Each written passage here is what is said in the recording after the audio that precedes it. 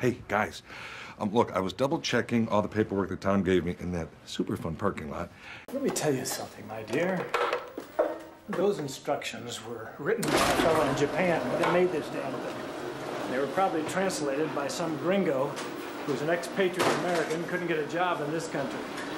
And uh, then a Japanese guy probably translated him just to double check on him. Tons. Tons. With a Z. Tons with a Z. Well, we'll just double check. Right, we got five. Green, yellow, red, white, and blue.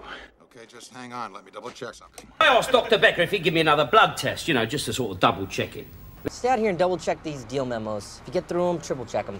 We've double checked because I know you've got a fan in the Taliban. Oh, rhymed.